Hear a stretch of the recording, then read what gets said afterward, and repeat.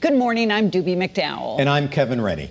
Coming up this morning on Face the State, Connecticut Congressman Jim Himes on the presidential transition and efforts to get the coronavirus under control. The Chief Justice of the Connecticut Supreme Court is talking about COVID's impact on the court system. And how will restaurants across the state survive a COVID winter? We're getting insight about what they're facing as coronavirus cases climb. We invite you to join us for Face the State this morning at 8:30 right here on Channel 3.